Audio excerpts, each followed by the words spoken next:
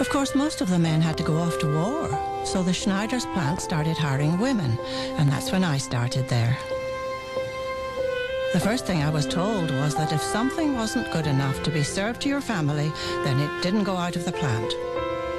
That was the golden rule, plain and simple. At Schneider's, we're still committed to the same high standards in everything we make. Because after all, You can taste the difference quality makes.